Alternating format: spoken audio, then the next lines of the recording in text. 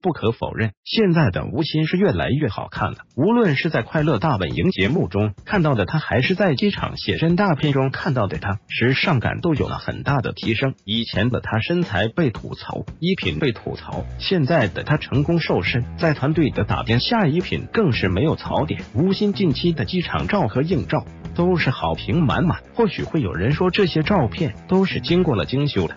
不是很能说明吴昕的颜值和进步。那我们今天就来看看路人拍摄到的没有经过 PS 的吴昕吧。今日吴昕出席了一场品牌活动，一身简单的西装搭配细细的高跟鞋，整体看上去非常干练。衣品和造型这块没有什么问题，再加上吴昕本身五官立体，还有身材比例也不错，所以这次活动造型还是很成功的。然而细看图片，还是有那么一点差。